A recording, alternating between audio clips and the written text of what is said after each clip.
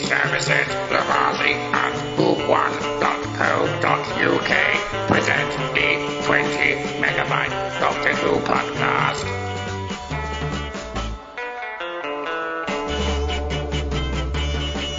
Hello and welcome to the 20 megabyte Doctor Who podcast episode 527. I'm Adam and it's too late. I'm regenerating. And here's Ben Shoveler. No broken bones, slight loss of dignity, no change there then. And Mary Lang. Are you telling me that bees are aliens? So yes, it's just us three for, for one night only. We have the professionals on the show. Da, da, da. Shouldn't that be more like what the hell? Why would it be that? Unless it's a Pride March. We're not doing a Pride March this week. Right then, so this week we're going to be looking at the Stolen Earth. Everybody is so agreeable that we did one episode at a time between the Stolen Earth and Journey's End um, that they couldn't be bothered to be on the show this week. So that was great. I Wow, think. I, I find that quite astonishing considering, you know, what an episode it is as well. I mean, if you're going to miss one, you, you don't want to be missing this one, surely. Correct. Well, maybe not, but they did. Well, more fool them, Adam. More fool them. Absolutely. So, with with no interruptions, we should get through this quite master. nicely.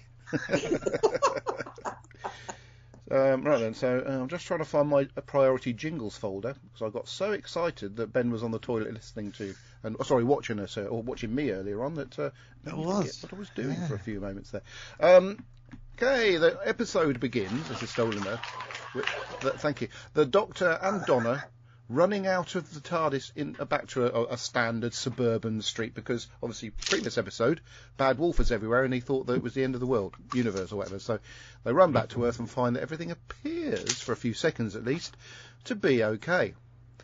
Uh, and just as they go back into the TARDIS um, everything outside disappears and all we've got is a few rocks and lots of space what on earth is going on? Are you making a cup of tea?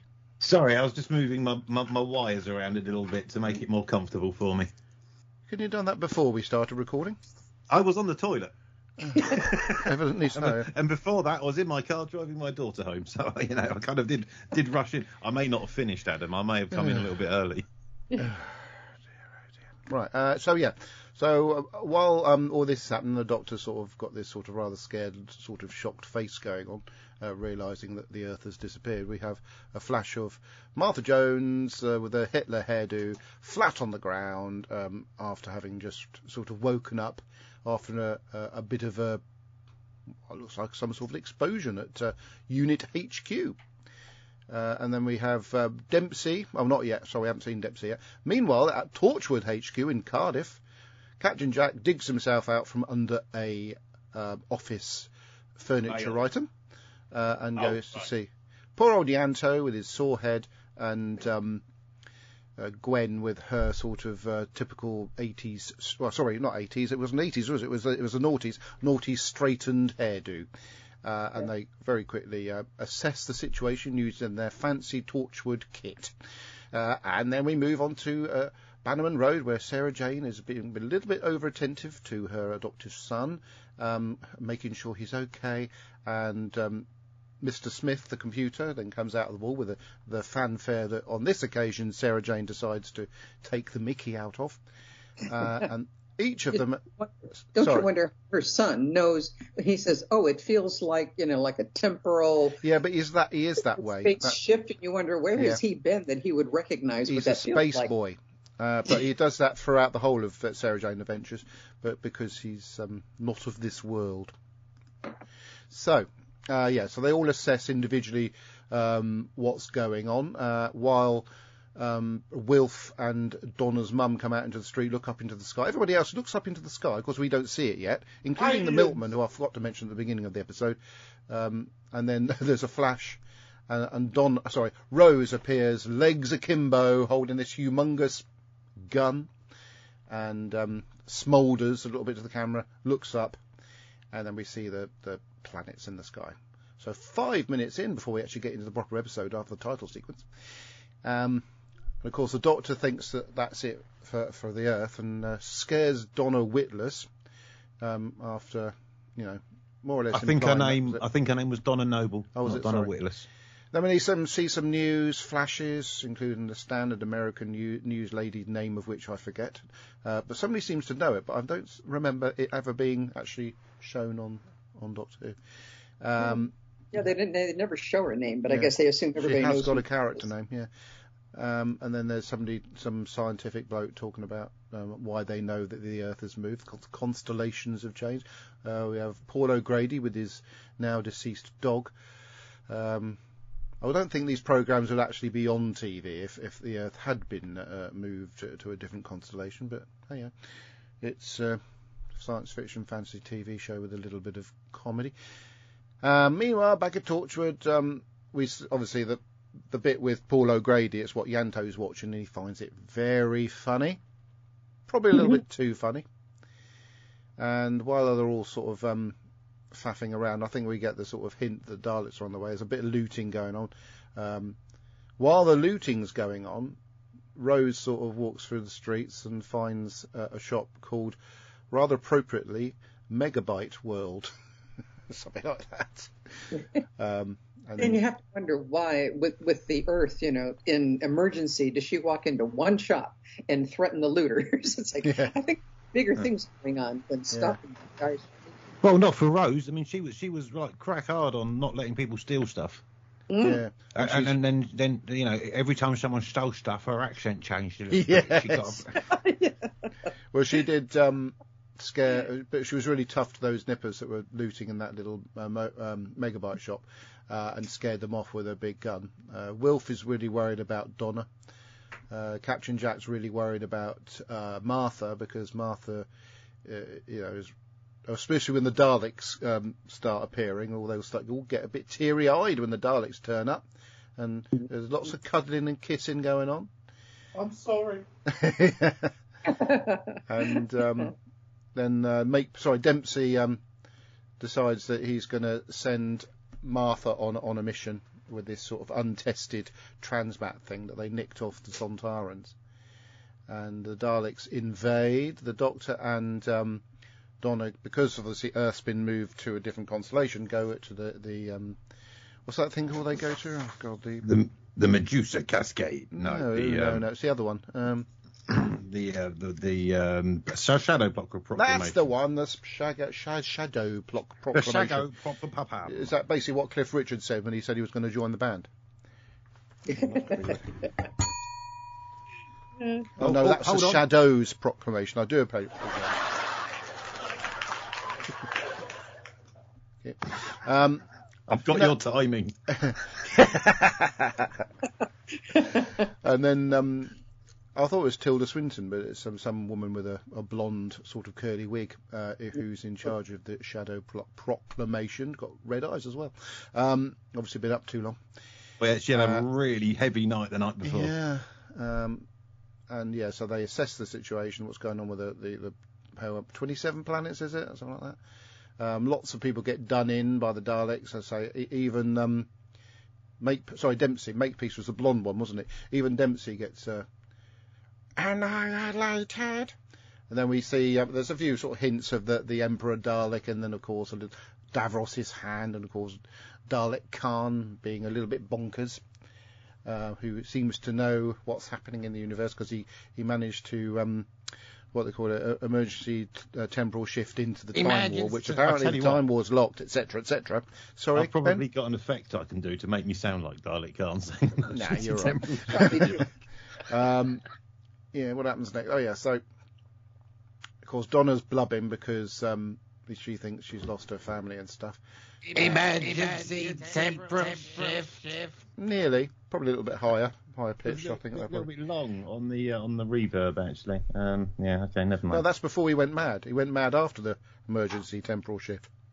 That's true. He did. Yeah. yeah. Oh well, I'll see if I can find something for later. Yes. Uh, anyway, so the doctor decides that he's going to go off and, and, and fight them, and, but is told by the woman from the Shadow Proclamation he absolutely cannot, but he does it anyway. Uh, the You're not going, all right? You're not going anywhere. So the Daleks start rounding people up in my mate Ian's uh, road, uh, that's Penarth uh, High Street, which is where he lives, and um, Wilf thinks he can um, do them by shooting paint at the eye stalk, which just dissolves when that happens. And just about they're going to just about to get done, and right behind the Dalek, unbeknownst to him, Rose blasts it to smithereens with her big gun. Do you think he got the uh, do you think he got the idea of that from um, Dalek Invasion of Earth 2060?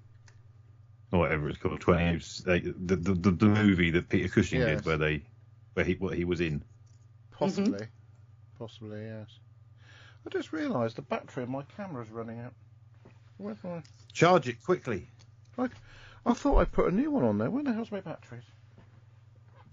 Here's one. Right, so that means I'm going to lose the picture for a sec. This is good, isn't it? Goes podcasting. Uh, Yeah, southern, professional, southern, southern, Rick Rastedly. Right. All right, let's put that battery in and hope that it comes back fairly quick. Oh, nice noise. That's the camera coming on. Oh, I'm back. That, that was quick. Right. Sorry, I'm I, I was got sidetracked. Anyway, so Wilf and is sort of. Um, oh yeah, Don. I'm sorry. Rose goes to visit Wilf and uh, Donna's mum because she's saved their lives. The Doctor sort of uh, can't find the 27 planets and starts sulking uh, and scaring Donna again.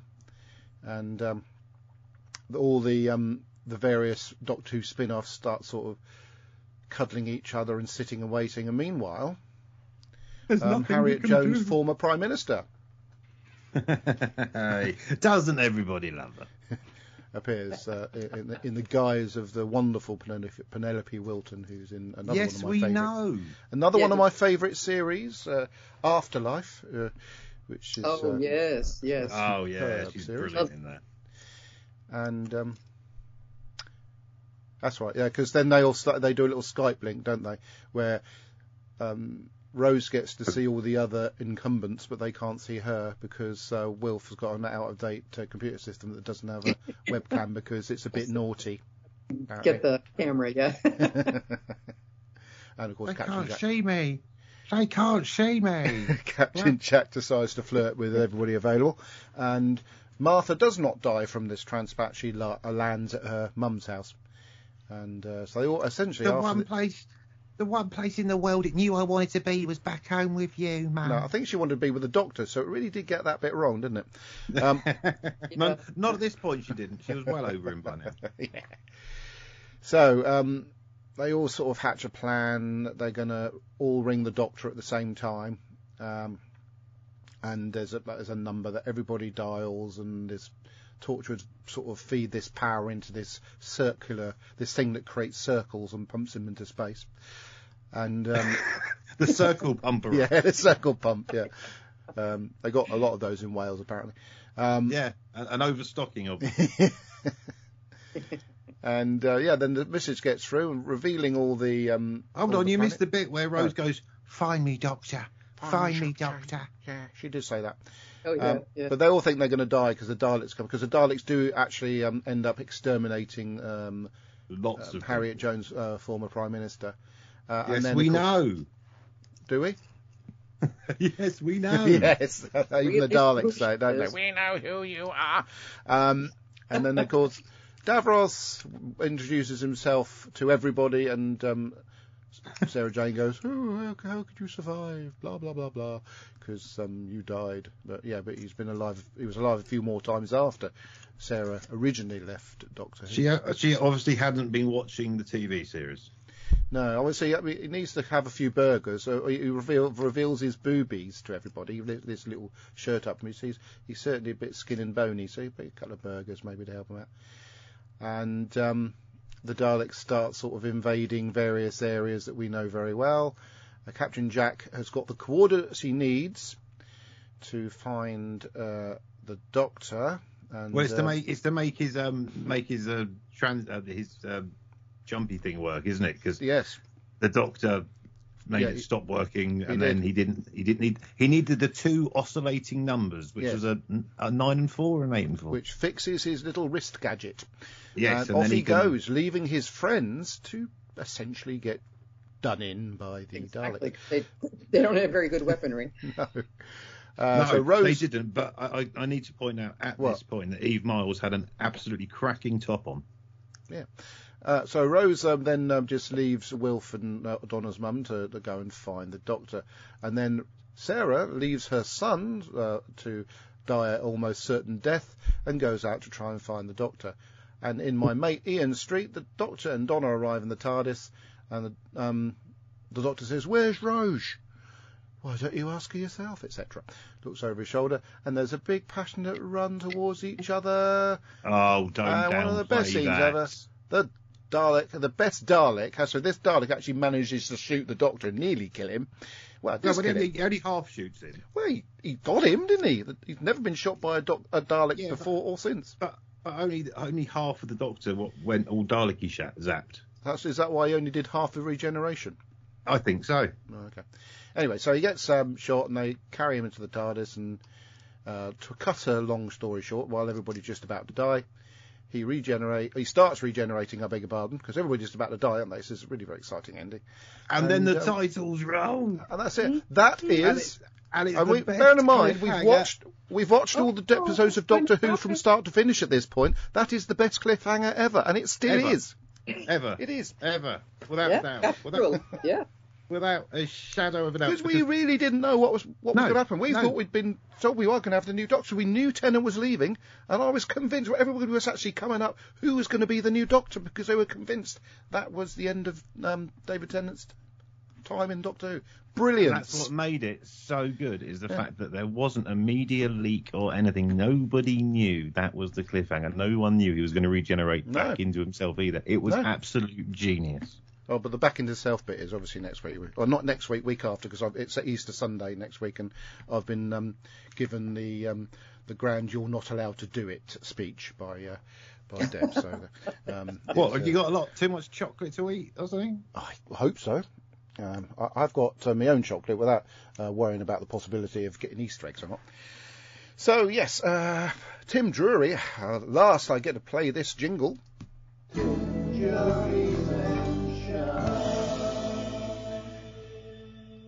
Says busy watching Picard, but good to see you back. Uh, thank you very much, Tim. I'm looking forward to watching Picard as well. I haven't seen episode two yet. Ian Kirk says Rose used to work in a shop, so perhaps that's why she is hard on looters. Oh, maybe. Yeah, because it just seemed really weird that she was suddenly turned in the middle of chaos to. Yes. Alan T. Butcher Is that how it she wa- dealt with it though when she worked in the department store? Was by getting out a big like bazooka type thing and just like scaring people? I mean that's that's proper. That doesn't happen when I go to Morrison's.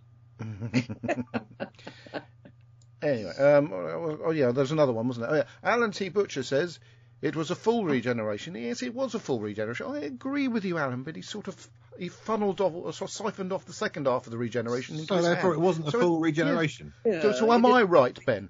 He didn't completely. No, finish What do you mean, yeah, no? Hang on. I was You're dinging you there because I was going to say yes. me and Mary agree with each other yet again. It's What? more of a pseudo regeneration. well, it's it's just not a half real- regeneration because the other half it's created the, the, the Doctor Donna thingy. Right, so therefore it's not a full regeneration if it's only a half regeneration. Yeah, so I'm going to go with there was a half regeneration.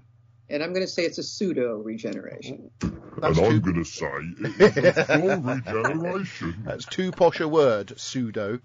Uh, sounds like some Japanese martial art. Right then, so I'm just going to say what I think about uh, this particular story. Absolute brilliance, and it's lovely to see. And the only one we really see all the, the offshoot people together, uh, and they're also uh, having Ianto in Doctor Who i- fab, especially as if uh, Gareth David Lloyd can come to, to FanTCCon like he should have done originally. Um, so. Um, all in Was all, uh, absolutely adore watching this story because it's such fun. What did you think of it, Ben? Yeah, it is absolutely such fun. Um, it brought, uh, uh, brought up a whole range of emotions in me watching this episode because, uh, as we often mention, this is the golden period of Doctor Who, and this is probably the best.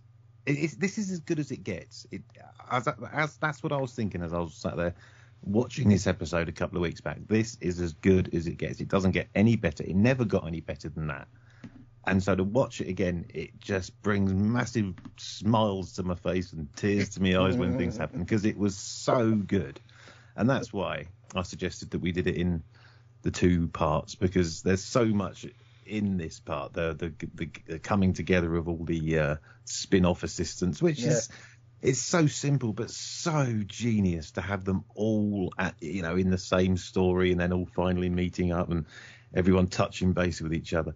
Uh, as we've touched on as well the the um, regeneration at the end was just absolutely out of the blue mind-blowing tastic for a whole week.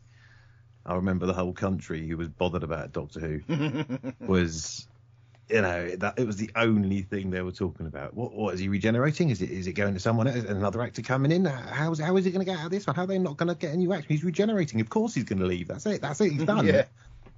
But no, you know, uh, RTD found out a rather interesting way to to keep him on, which no one had ever thought of. And uh, the, the first episode of this series finale was just genius. It's absolutely brilliant, and uh, I can't wait for next week's because that's Or you mean the week after next, or even the week after week after next, depending on what I'm doing on the Sunday?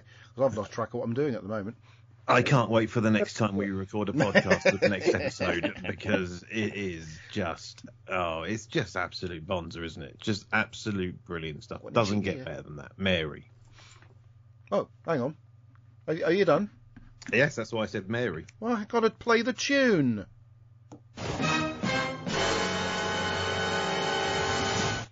What do you think about it then, Mary? Well, I have to, unfortunately, um, What?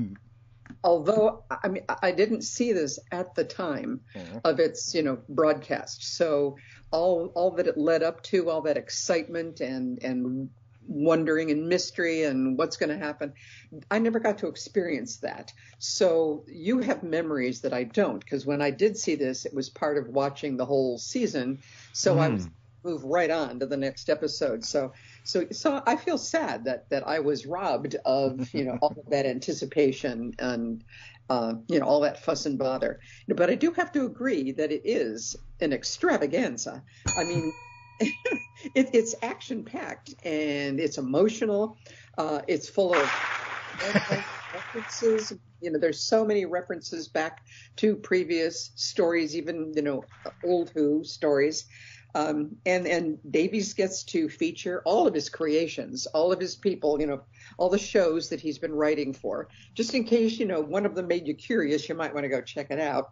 Um, so there's a self-serving thing going on there.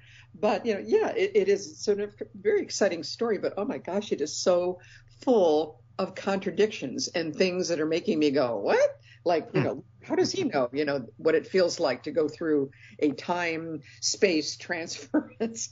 Um, and then when they, when it, I think it was the doctor who, who when someone questions uh, Donna, you know, like, well, how can we breathe and all that if the planet's moved? And he says, um, you know, well, the air and the gravity have been maintained.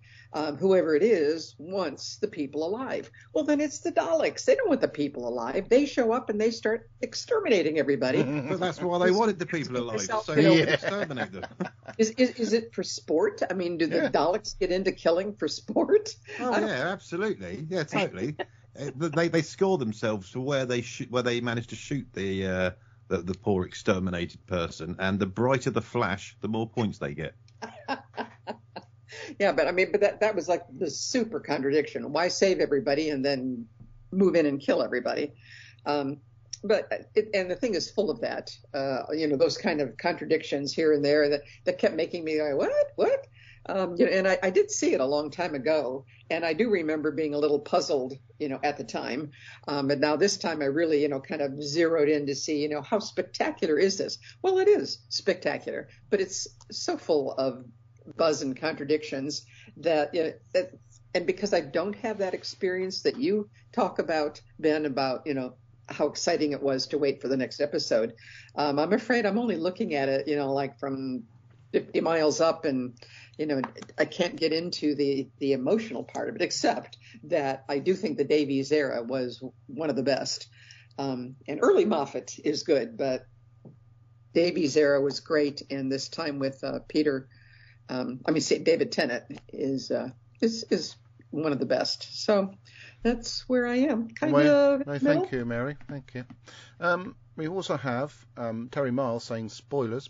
Uh, Alan T. Butcher saying it counted as one of his 12 regenerations. We didn't say it wasn't a regeneration. What we're saying is that, yes, he, it was a regeneration. He used all his regeneration energy up, so therefore it was a physically a regeneration for him. But it was a half regeneration for the the the physical aspect of the 10th Doctor because he siphoned a, his stuff, the other half of it off into a hand. Say So- it was half generation because they don't they don't do half regenerations. That's why I'm saying it's a Yeah. pseudo. Well, for the 10th incarnation, it's a half regeneration because he didn't change his persona.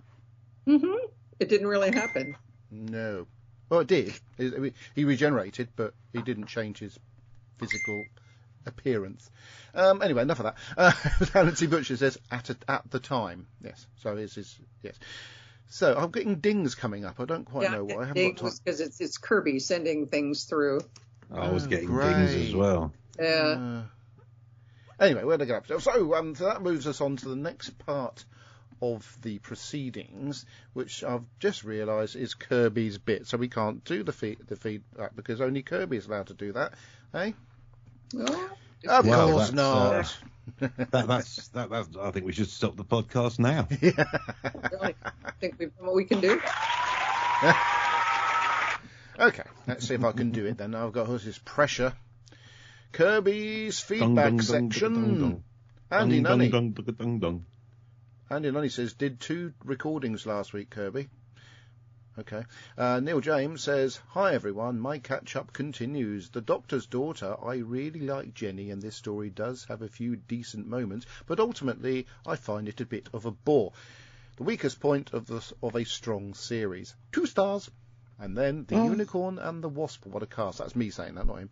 Um, I love Agatha Christie and 1920s set murder mysteries so naturally. I find I'm reading this really weirdly. I find this story enormous fun. Gorgeous cast, and even the whole wasp thing is a bit stupid. I love this one. Four stars. Then, Silence in the Library, Forest of the Dead. I always enjoy this story, but I don't see it in uh, it the masterpiece a lot of fans do. Catherine Tate is outstanding. And the moments of horror really land well, but it's the overcomplicated and tries too hard at times. Plus, I find River Song hugely annoying. Midnight. Oh, hold on a minute. What? hold on. Can you just read that last bit again? And I'm right on it. Oh, God, okay. Plus, I find River Song hugely annoying. There you go. Midnight gets better with every watch. Sky's incredible, amazing episode. By the way, it's got an E on the end of it. Uh, Sky, uh, Neil, it's a S K Y E. I may be wrong. Uh, Not Sky when is it's a neighbourhood. Turn left, epic episode, pretty depressing but really well done. Donna is better than Rose. I enjoy that massive beetle. Four stars. And then, Which Stolen one, Paul McCartney or uh, John Lennon? Soul on Earth. It, this really feels like Russell T Davies's greatest hits. It's a big, it's loud, and the gang's all here. Well, almost. Jackie and Mickey Meet are the gang, late. 'cause the boys are here. the boys to entertain you. Um, great to see Davros again, and it's a tremendous performance from Julian Bleach. What are you laughing at now? the way he said, "Nice to see Davros again." Like Nice to him- see you. It's like great you met to him see for you. coffee last Thursday. Yeah. nice to see Davros again. We had a good catch up. Actually, he's doing all right. His, his left hand's almost grown back. A few things and he that I- decided not to Oh, destroy the earth for 15 minutes. Whilst he was eating a chocolate muffin, bizarrely. But anyway, I'll see him again next week. Make sure he's all right. A few things I really enjoyed. Jack's excitement that he's about to witness a regeneration. Hor- Sarah's horror at recognizing Davros from way back in in Genesis is quite funny. He, talk, he talks about Jack's excitement about about to re- witness regeneration. If you remember the, the bit we're going to see next is when he he doesn't regenerate properly and he looks really disappointed. But anyway, um, the insane Dalek Caan, who is certainly off his meds, and just how cool, sexy, and badass is Gwen Cooper. See, I said that. I said that. That red top really does Yeah. her justice. when this aired, I remembered being bowled over by the cliffhanger. I couldn't believe my favourite series actually had the balls to kill off the Tenth Doctor halfway through a season finale, and in such a cruel way, denying him his reunion with Rose after so long. Astonishing stuff. I was proud to be a fan. To be continued. Four out of five. Brandon Moore. Oh, oh my God. Jesus Christ. right. I should be having some water here to prepare my throat for this, this, this epic. Okay. Oh, how, how sorry, I'll start again. Oh, you know nothing of any human, and that it, that will be your downfall. The Stolen Uh, Earth by Russell T. Davies. Davies, spelled D-A-Y-V-I-Z. Yeah. A good decision to review this one in two parts, as there's a lot going on here. On first broadcast, I missed the episode, which was a great shame. I'd been whisked away to something or other. I don't remember what exactly, but I missed it. I watched the episode the next morning and had been spoiled that there was a regeneration. However, the shock of the episode ending mid transformation was still effective anyway. The universe crossover of this story is what is so exciting. It, and such a shame that nothing like this has happened again since. Well, it'd be a bit of a copycat if it did, wouldn't it? Where have all the spin offs gone? Hmm.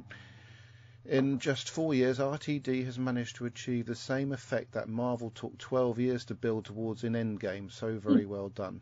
The pre-title sequence is brilliantly exciting. The Doctor and Donna spend most of the episode trying to get involved with the plot, and I would say it is the weakest of the story threads. RTD's original story plans included a much gender grander, sorry, grander scale of the Shadow Proclamation, featuring every monster ever, and it's a shame that this was not pulled off on screen. Putting this aside, Ten and Tate are so good together that I could watch them doing anything.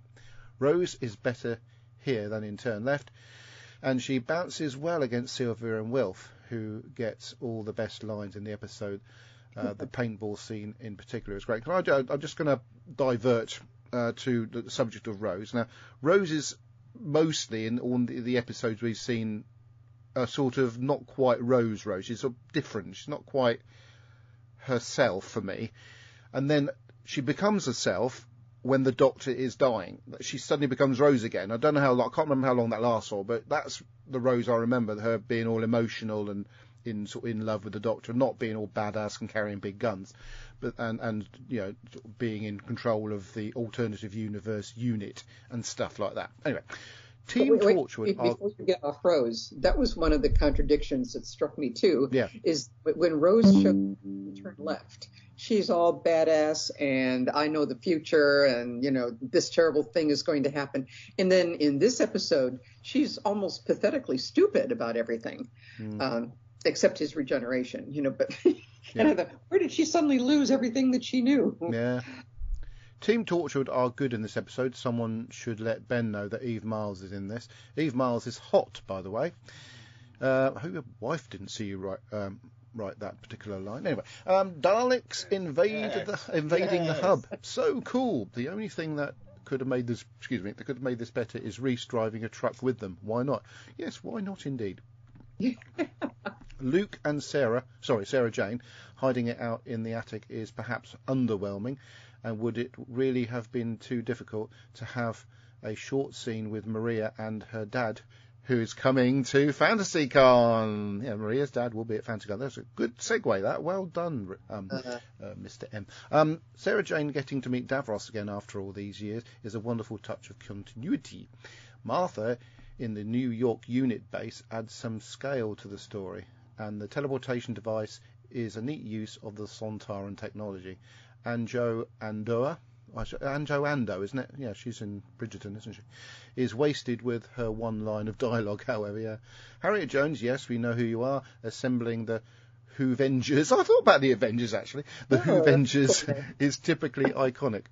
It's a shame that she didn't get to meet with the Doctor, and according to RTD, she survived her extermination via a trapdoor, so all is good. Um, Daleks are at their most terrifying in this episode, with Julian Bleach giving an incredible, form, incredible performance as their pet Davros.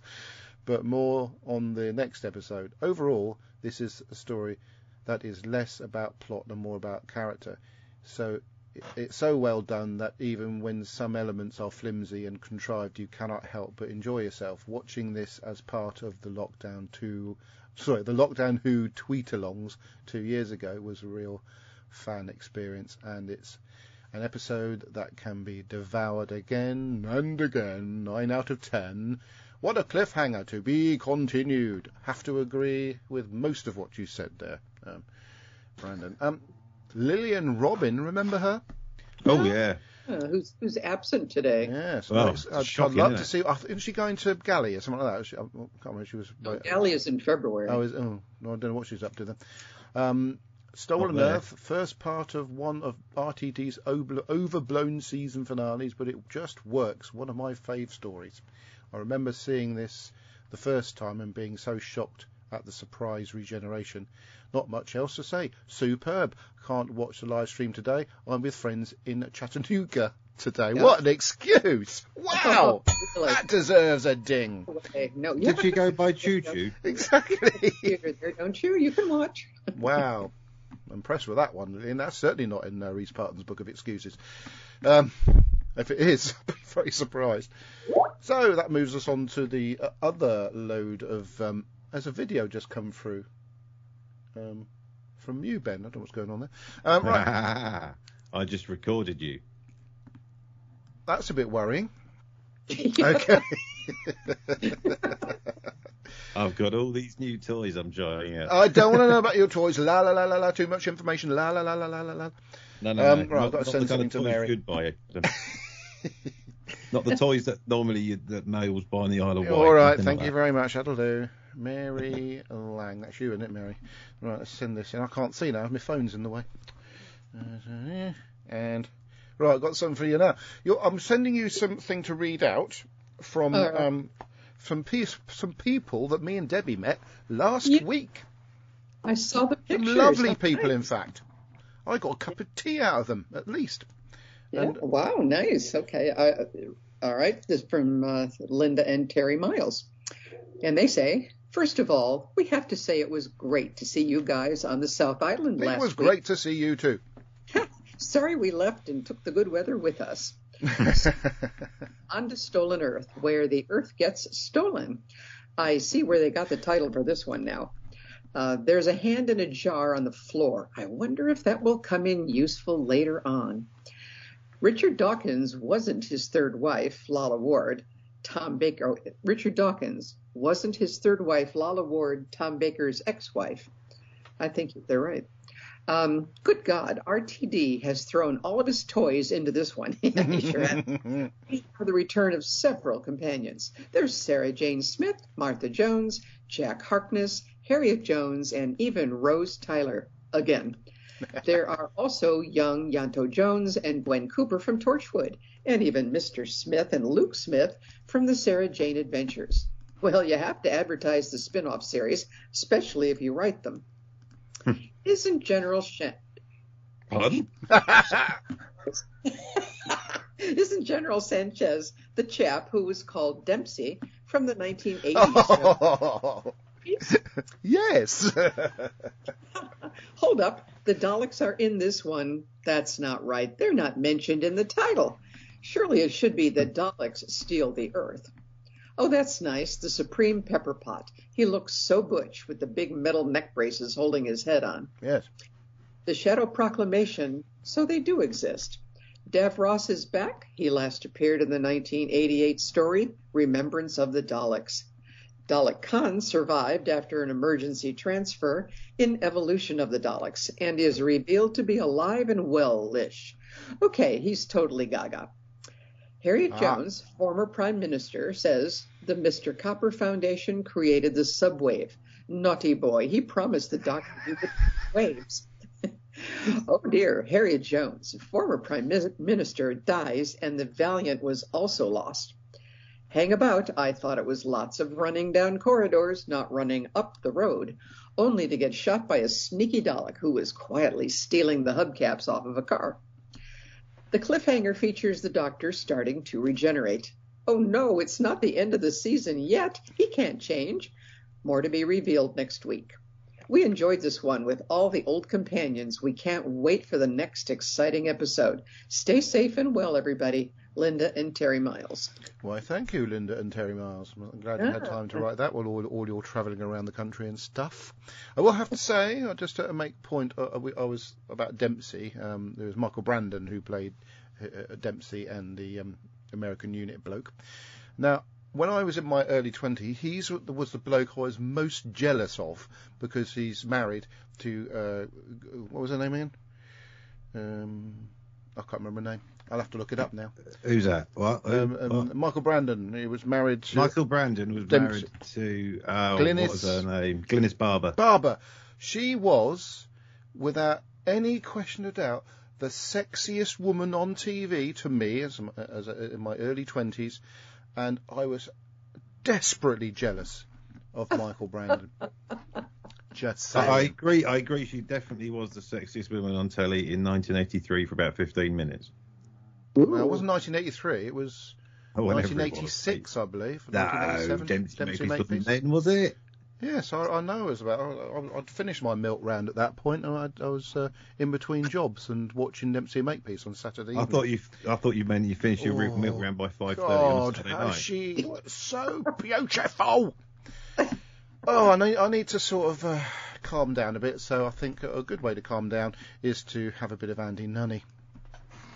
Oh, yeah. Well, good morning, 20 megabytes, says Andy. It is Saturday, April the 2nd. Um, I did a load of ironing yesterday because we got visitors down, so did it on a Friday. Did load two hours worth, watched two episodes, and then found out from Kirby that uh, not only you're not recording tomorrow, but you're doing the two-parter in two parts, which wasn't how you did it before. And I'm being lectured by Kirby. We've told you that we always do two stories together. And now you're not. I don't know. I mean, uh, these changes are playing hell with my domestic routines. I mean, could you have some consideration, please, folks? Anyway, rant over. Um, so, I'll do it in two bits. First of all, we have Stolen Earth. Now, opening credits must be the longest one ever, with a number of names coming up. You know, David Tennant, Catherine Tate, Freema Agyeman, uh, Elizabeth Sladen, John Barrowman, uh, Donna, not Donna No, but I've got the wrong one, but you know what I mean. And then the, then afterwards we had there was Eve Miles and um, I can never remember the character who plays Ianto, though I've been to his shrine. Uh, he's got I know he's got three names.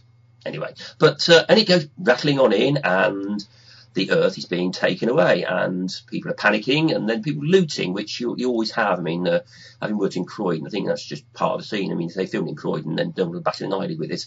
But uh, but you get all the characters, all the companions coming back. I mean, suppose the only one missing would have been uh, River Song, but of course she's dead, so it would be a bit difficult. Um, but it goes along, and they're all. They're all slowly coming together, slowly meeting up. The only one who can't is Rose. Uh, we get Wilf being absolutely brilliant as usual. You know, he's concerned about his granddaughter, but uh, you know, he's not the bumbling old fool that he started off as. You know, he really is a very percep- perceptive man, and he knows what she's doing, knows what's going on. And uh, when uh, his daughter says, "You know, come, oh no, don't be silly, that's all make believe," you know, she's going around the doctor, going around the galaxy with the doctor. He says, "Look at the sky, you know, come on." You know, basically wake up, wake up and smell the coffee, and even by the end of it, she actually knows what's going on. Um, but they all come together slowly. I mean, Harriet Jones comes back. It's funny. I thought she'd already been killed, so I'm, you know, I thought, uh, but obviously not because well, she's there. But and then, you, you have to assume that she has been exterminated. You you never actually see it happen, do you? You just see the thing go off, and you have to assume that she's gone. Um, Michael Brandon is the leader of the unit. Again, you never see him killed, do you? Yes, so it's you know were they actually killed? Did they escape? Who knows? I mean, I can't remember if you ever do see them again, so you have to assume they are dead. But the Earth's been taken away. People are panicking. Then there's the Doctor can't get through. We've got all the phones being used. Then you've got this uh, sub ether network. You know, I think it wasn't quite called that, but I, I did think of the Hitchhiker's Guide to the Galaxy straight away.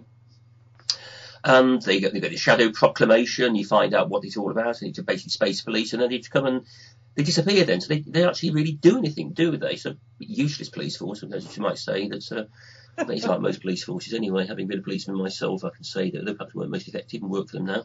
Anyway, um, I digress. We go across the Matrix. The Matrix is dead, but you, does obviously make sense later.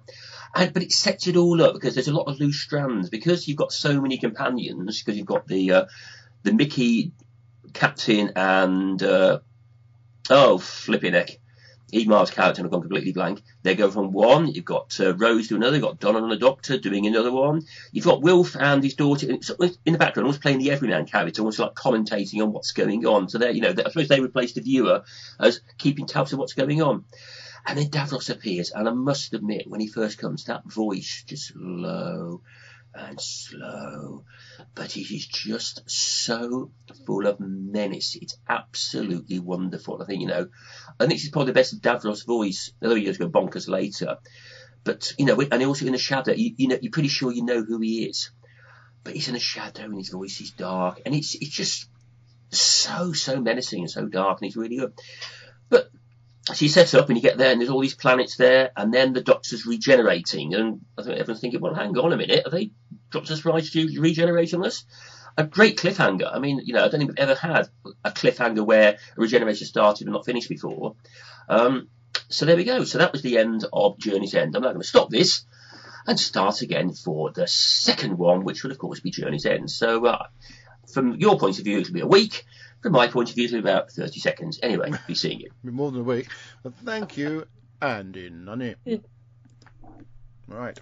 Sorry, I just got distracted by the golf there because uh, uh, looks like Scheffler's um, lead is not exactly uh, as clear cut as it appeared to be at the beginning of the, the day. So it Doesn't bother me who wins because I've got money on both of them. Oh, who, who's the other one you got m- money on then? Smith. I've got money on Smith um, Right. and Scheffler, and uh, I put a little bit on, a little bit too much on Tiger Woods. Yeah, he's, he's Uh, just played an little- incredible shot, but I don't think he's going to win somehow. No, because he's currently last, so um, he won't be winning, which is a shame because I would have had a lovely evening if he had. Um, and I also put money on Rory McIlroy, uh, but I've got Oh, him each dear. way, and I think he's no, he's creeping into the top ten, isn't Oh, he? is? So- I think he's a bit off at the moment. All right then, we got this. Hello, 20 Megabyte Podcast. This is Ian Kirk. Hello, Ian. The Stolen Earth by Russell T Davies.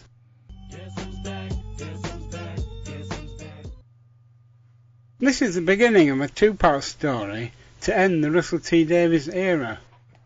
Yes. Like a stage show, everybody takes a bow at the end, including the stars of the spin-offs, the companions and their families, Unit, though none of the familiar members except Martha Jones, Trinity Wells, the American newsreader, is back, and Ah, Harriet Trinity. Jones. I know who she is. Yeah. There is a scene where Rose is walking towards the camera and does not flinch when there is an explosion behind her. Might be a tribute to the Seventh Doctor when the psychic circus explodes. Yes. Yeah. The Probably Doctor and done by Donna a visit the. Shadow Proclamation, so we can have a lot of exposition about the clues Russell T Davies has been putting in the scripts. There's a cryptic reference to the planets being rearranged in the Pirate Planet. The Daleks are the iconic villains of Doctor Who, so they are back again, including Caan. Wrong show. At the end, it seems like the BBC have arranged a regeneration without people finding out. Indeed. Or have they? There is the Easter episode next week, so we'll probably review part two after that. Yeah, it's a bit of a shame, isn't it? Well, at least there were no Slitheen in this one. Bye for now. Yes, the Easter episode just happens to fall on Easter when I'm not allowed to do the show, but we'll have to talk about it when when I am allowed to do the show, which makes me want to refer to my calendar. Uh, just talk amongst yourselves for a bit. Uh, oh no, I can do the week after. We're okay. Right, that's a bit of a relief. So that leaves us one last thing on the feedback department. What could that be? That would be you uh, with your brand new theme tune, apparently, uh, for Alan T. Butcher. But before you start, Yeah, I haven't been coming through on the live feed? We've got. Oh no! Okay. We've got Kirby Bartlett Sloan. Sorry, Mary. When you thought you could get away from him, he's there in the background all the blooming time. Here he is. I don't have my volume on, but the captions just said you mentioned me. Kirby Bartlett Sloan, Kirby Bartlett Sloan, Kirby Bartlett Sloan, Kirby Bartlett Sloan, Kirby Bartlett Sloan, Kirby Bartlett Sloan. It happened. Be interested to see what the, how the the um, auto captions say the name Kirby Bartlett Sloan. But let's Kiwi move on. Bartlett Slain, Kirby Bartlett Slain, Kirby Bartlett Slain. um, then he says, "You're doing my reading for the feedback. I see. God, it's a commentary on what we've been done. Um, Yeah, how are we doing, Kirby? Do tell. you're already done discussing the episode. I told you we should have done both episodes today. If you've been on, oh yeah, you wouldn't have been able to do them. Actually, we would have gone through both of them quite quickly, wouldn't we, Ben? Anyway, Alan T. Butcher, alternative title, title Larceny of the Daleks. Terry Miles says okay. she was in Blake Seven. Who was? Who was in Blake Seven? Oh, Glynis Oh, well. Barber. Was she? Yeah, Glyn. I wish she'd been the Doctor's companion at some point. What Who was she in Blake Seven? I a don't remember. beautiful woman. Yeah, she was. I said she was one of Blake's women, wasn't she, in uh, Blake Seven at some point? Was she? Wow, Okay. gorgeous. Um, yeah, that's it for the stuff coming through on the live feed. I'm just going to uh, make sure I didn't miss anything. I got- got distracted by Kirby. Go on then, Ben. You can uh, do your new um, butcher bing- jingle and. Uh, I haven't got an Alan T. Butcher jingle. you, oh, I thought you'd you'd spent all week doing jingles for us. Oh yeah, but I haven't done one for Alan T. Butcher. Why not? Well, I don't need to do a jingle for Alan T. Butcher, because, hello, I am Alan T. Butcher. Is that it? I'm so sorry, Alan. Years and years of contributions to the show, and that's what he, he comes up with. Are they?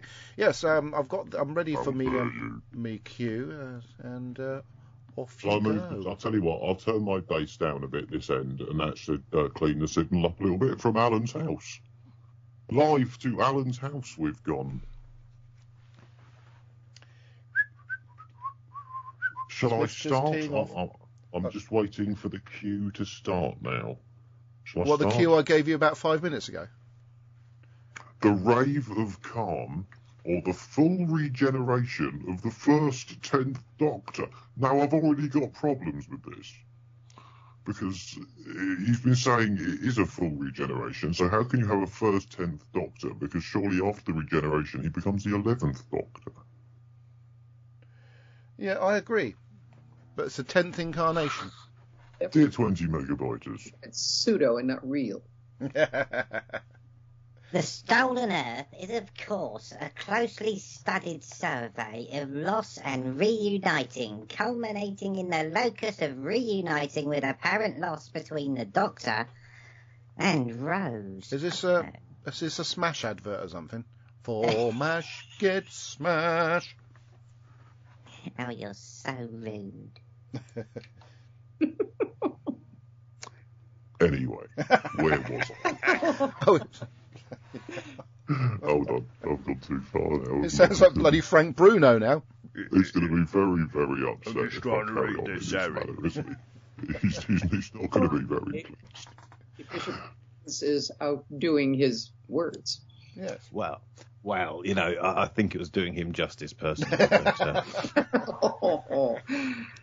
Uh, anyway, uh, culminating the locus of reuniting with apparent loss between the Doctor and Rose, echoing Rose's previous loss of her original Doctor after she had come to the acceptance of a new phase with a Doctor, well, sorry, with a different Doctor, and then had a further loss by the continuing dis- dislocated from each other, or other rather than by either of their cessitations as individuals. He's taking You can take a week. breath now. Just fluidly off your tongue, isn't it? Mm.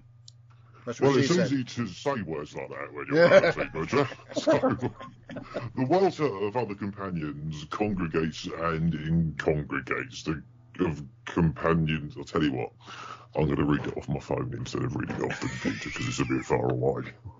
Hold on, I just need to get my glasses. That's better. Right then, where are we?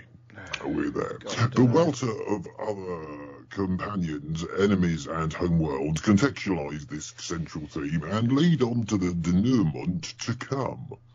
It should be noted that whilst some that's, that's, that was the best timing ever, and I talked all over it. I'm, I'm deeply, deeply sorry. It should be noted that some might say that moving the Earth from its orbit would have a cataclysmic effect which would disrupt all life on Earth to the extent of an inevitable extinction. In fact, Doctor Who is Kirby. Was A science fiction fantasy TV show. I think you'll find it goes a science fiction fantasy TV show. knows nothing, Dear. that boy. Knows nothing. Uh, it's a science fiction feature TV show in which such details can be ironed out by assumed technology fixes off screen. We also learn that Davros did in fact survive the destruction wrought by the Seventh Doctor after he had finally gone too far and had demanded a bottomless bowl of rice pudding. But obviously Skaro was definitely destroyed. Right? We won't be seeing Skaro again. all in all, The Stolen Earth is a bold middle part of a bold overall finale to this series. The multiverse threatening narrative is the result of rampant and continual catos- catas- catas- catastrophe. Catastrophe?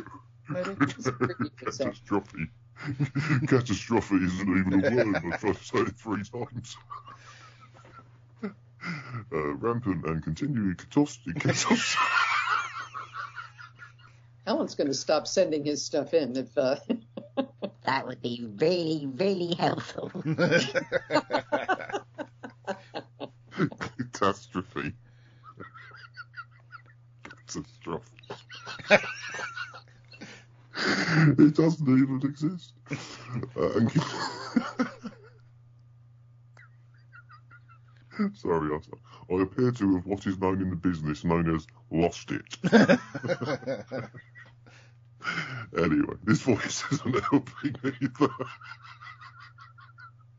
anyway, uh, I've now got so many tears in my eyes I can barely read the screen.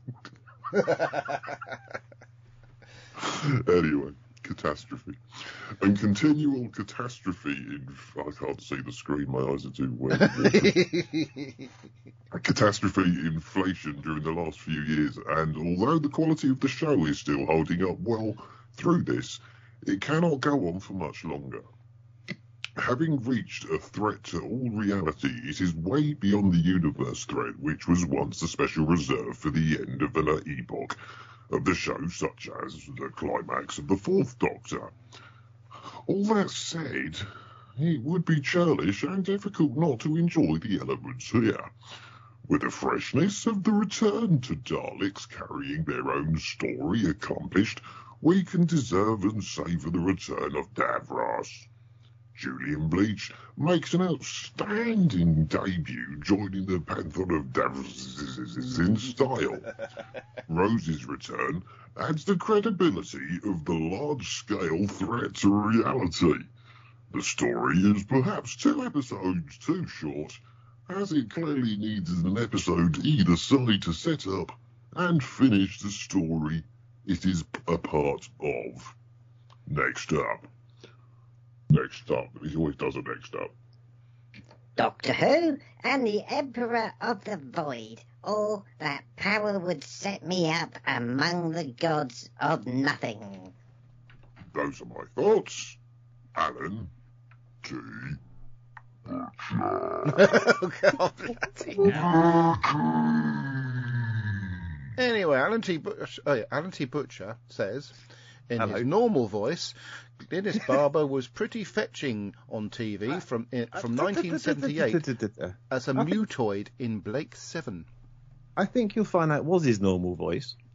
Well, you will have. Well, I met him a couple of times. Don't remember him talking like that. But maybe a, maybe a lozenge is, is required to restore his normal I, dulcet I must have met him on the day he had a very sore throat. Mm, Maybe so. Okay, I don't think anything else has come through on the uh, feedback Oh. front. Oh. So that means that we can now. Um, are we playing it now, Ben? Yeah, we, we, we can we play can it now. I'm just- play whatever just the let- quizzy title thingy is. I'll play the opening bit now. I, I demand. Hold on, hold on, hold on, hold on, hold on. I don't need any assistance from you whatsoever, young man. in this. What? That that isn't the theme tune. This is the theme tune. And now, live from the Indie Rock Disco Radio Studio 1, the game show nobody's talking about. This is How Aged Are They? How aged are they? How aged are they? It's like having How Dennis Waterman on they? the That's show. what the game's about. Shush! How aged are they? How aged are they? How aged are they? Get ready to find out. And with your host, Ben Sutherland. Hello, hello, hello, and welcome to How Aged Are They? The Doctor Who actor who's recently had a birthday aged guessing quiz, currently featuring on the 20 megabyte Doctor Who podcast. What has Oh, this podcast become? Thank you. The rules are simple. There are four rounds, and in every round I'll give you one actor from Doctor Who history who has recently celebrated or are soon to celebrate their birthday, unless they're a Jehovah's Witness. Ah. the, the contestants have to try to guess the actor's age and score as few points as possible. If they guess the actor's age correctly and get an exact answer, no points are added to their score. If they're one year away, either over or under, it's one point. If they're two away, they get two points. And so on. At the end of the four rounds, the points are added up, and the winner is the contestant with the lowest score. To ensure fair play, the contestants will take it in turns to start each round, just so no one guesses one year away from another contestant's answers for all five rounds and tries to spoil the fun. Also, new rules. No contestant is allowed to give the same answer twice. It's all right, Kirby's not here. And if anyone mutters, I don't know, or similar, 10 points will be added to that contestant's total.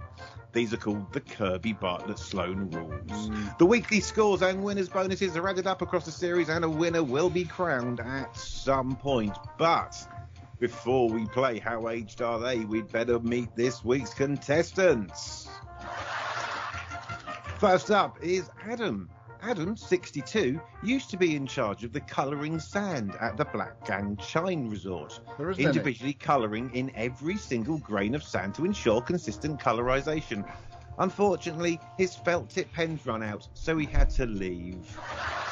He now works in the local shop on the Isle of Wight and is a very popular member of the team, but only because he's the only one who knows how to work the self-service checkouts. Hmm. Oh no, we have to just fast forward it now because obviously I've got everyone else's, which I'm not going to do now because Hurrah. they take long to write, and then I can redo them next week. Yes. So hold on, just I've just got to get down to Mary's. It will be worth it, I promise. Okay. Uh, uh, just stop, revert. I've got an auto cue thing on my computer. It's Oh, handy. Uh, my four rounds, four rounds. Mm. Uh, Barley Sloan, Kirby. This is slick. Do you want me to play some lift music while you work through this, Bill? No, it's all right. I'll tell you what. I'll go back to the old um, way of uh, doing it via the screen over here. Okay, in three, two. Mary, 28, was one of America's foremost bakers, winning the Great American Cook-Off for 16 seasons in a row. She was once responsible for up to 8% of the croissants eaten every day in America, but had to give up the baking to focus on a new career as Gene Simmons in the fourth best Kiss tribute band in the States. Keep on rocking, Mary. I thought you meant the other Gene Simmons, the one, um, and the actress of um, the mid 50s and 60s fame. Um, I'm not sure which one that is. Which one's that? Gene with a J Simmons, rather Gene with a G. Oh, right. Anyway, let's play the game. Scores so far Adam's got 28.3 as an average, played 385 points, and Mary has 39.5 as an average with one win, played two, 79 points. But today's actors and actresses, on how aged are they? Shall we start with round one? Everybody, let's have round one. Oh, right, sorry, you're doing the quiz. Okay, right, yes. I'm ready now.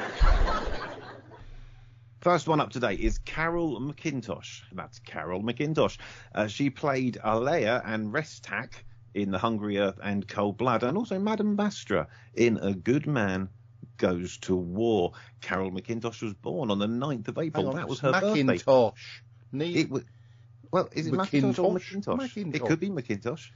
Oh, good, good God. I thought it was Neve McIntosh. Anyway, carry on. Yes, um, how old is Anyway. she? Yes. Oh, you- Born on the 9th of April, how old is Carol McIntosh, McIntosh, McIntosh, McIntosh, McIntosh, Mc- Mc- McTash? How old is Carol Tosh?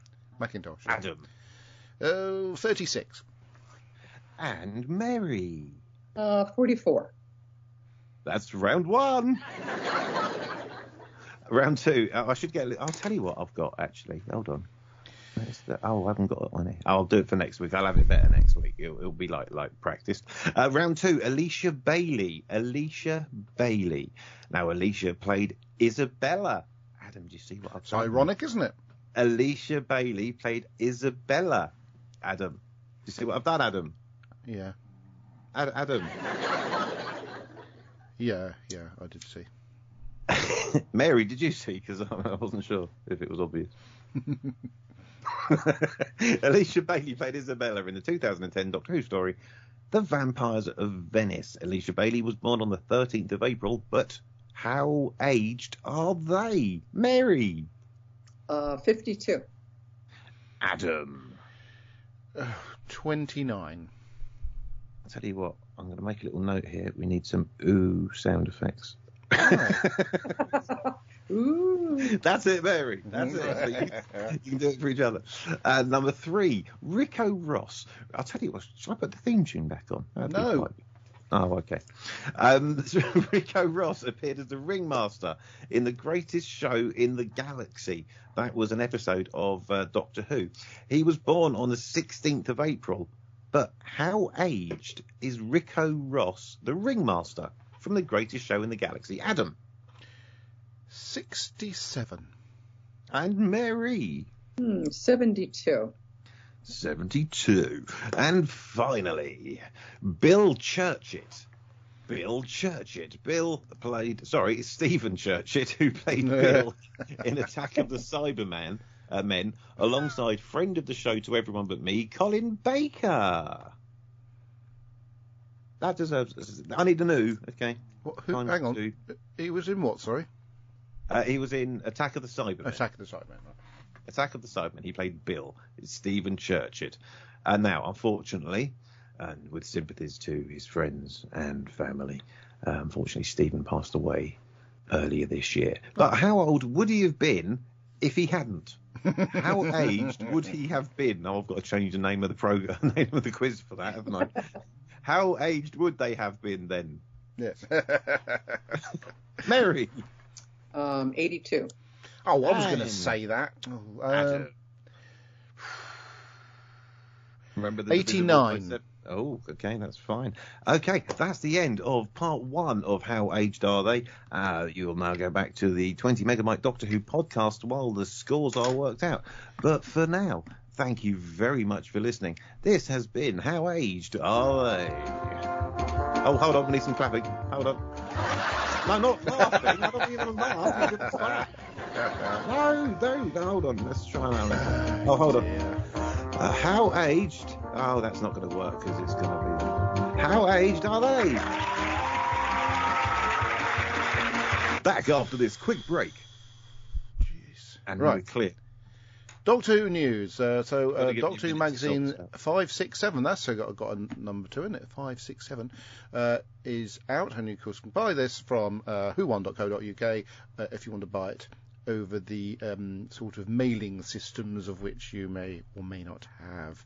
It features a cover with the thirteenth Doctor and the Legend of the to- uh, Sea Devils stuff on it, uh, with some um, supplements and things like that, and uh, a picture also of a new style Sea Devil, um, and loads of other stuff. So that's in the Doctor Who magazine 567. There's also some photographs uh, been or images uh, from Legend of the Sea Devils, uh, which is on Easter Sunday, so we can watch that without fear of having to do a podcast straight afterwards.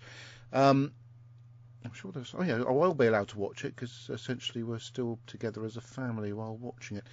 Um, this will be the second to last appearance of the 13th Doctor. Um, it will also feature Mandip Gill and uh, John Wonderful Bishop. Hey. Right, we have Hey. a trailer. Great. Which- Won't be sorry to see them go. Indeed.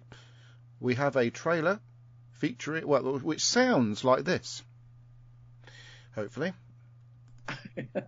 Oh, there go. Sea Devil.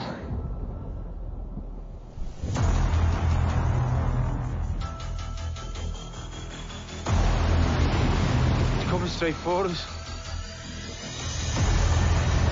That's impossible. Madame Ching! Pirate Queen! Where's the crew? That'll be us. We don't stand a chance. Yes, did you just stand up like this? You're like a kid sometimes. Thanks. Say hello to my crew. The order's been disrupted. Because of you. Because of what you unleashed. You want to create chaos. It is our time. Man the cannons. The ship is going down. Down!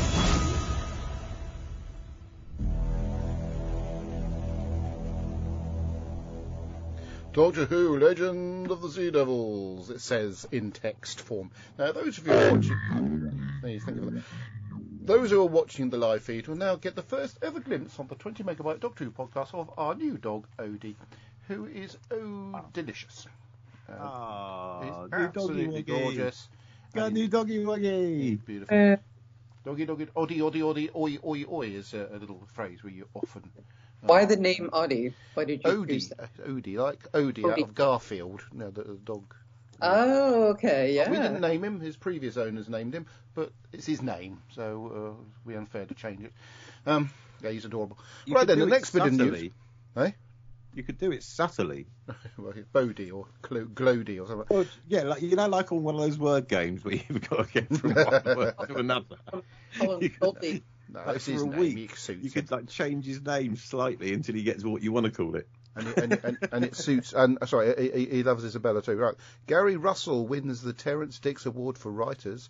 Gary Russell has become the inaugural recipient of the Terrance Dicks Award for Writers, presented by a Doctor Who Appreciation Society. Congratulations, Gary. And the saddest news of the week, of course, is that legendary actress and best friend of Lady Gaga, June Brown, has died at the age of 95.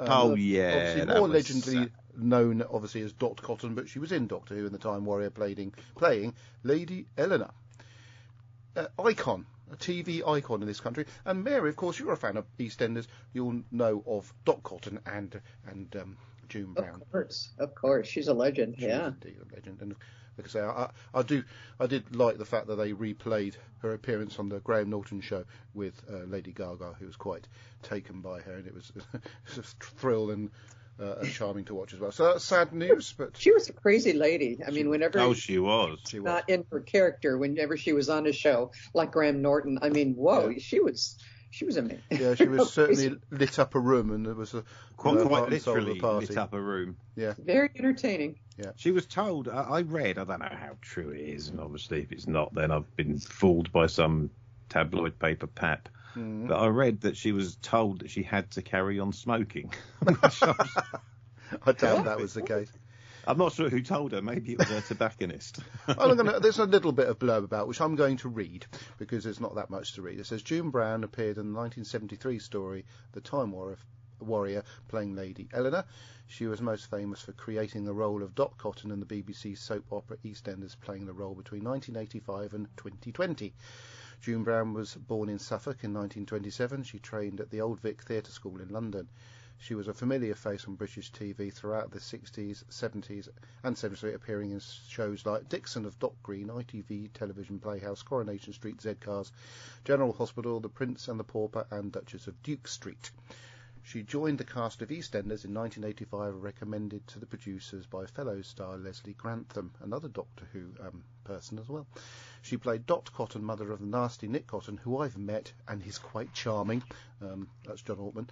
Um, in, until 1993, and I tell you what, because we were, I was in a pub with, uh, with John Altman after the, the, the con finished, and I overheard him having a conversation about June Brown and how much he loved her and how much like a real mum he was to him.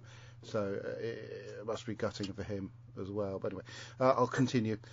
Uh, returning to the series in 1997, in 2008 she became the first soap actor to carry an episode single-handed, a performance which led to a nomination for a BAFTA award. She was appointed member of the Order of the British Empire in the 2008 birthday honours and an officer of the Order of the British Empire in the 2022 New Year's honours for services to drama and charity. June Brown was married twice. She's survived by six children from her marriage to her second husband, Robert Arnold, who died in 2003. So there we go. June Brown, legend. Oh, hold on, no, no, no, hold on. We can do a lot better than that. Oh. Let's let's uh, let's give uh, JuneBrown.com. Yes, absolutely. And well deserved too. Absolutely, quite Yeah. seriously. She was she was an absolute soap legend, and uh, I don't think so far. I don't. I think she just left EastEnders. I think, think I don't think they killed her off, but I think obviously now they need to kill her off off screen and do it very dignified. Yeah, that'd be a good idea. I like that, Ben. I like Bring her that. back, give her a really nice, you know, end Yeah. to Dot Cotton. I think that's what it deserves. Absolutely. And bear in mind, see, she was not, she was 95 when she passed away. Um, William Roache, who plays Ken Barlow in Coronation Street, is 90 and still going strong. It's amazing. Uh, Yeah. So what are you saying? Are you saying he's got five years left? I hope he's got longer, but it is a remarkable feat to play that one character. I'm not talking about William Roache for that length of time. Incredible. I read that she stepped away from the show because she was dissatisfied Yeah. Yeah, grumpy storylines, I would imagine, Mary. Yeah. That's probably But, dissatisfied. but to be fair, Mary, uh, do, do you are you bang up to date with it? I don't know how you get it anymore. Are you, Yeah. or Yeah. oh, so, Yeah. so, so you're not like 15 years behind like we were with like neighbours or something back. No longer. Yeah. All right, because do you still think it's any cop? Because it's I can't even watch it anymore because the stories are just so bad and the acting is not great either. Yeah. Yeah. It, it's really boring. Yeah, yeah. I I, I It is. really I haven't don't watched it understand for how they years. haven't killed it off. I'd have thought by now, you know, it's it's had its time.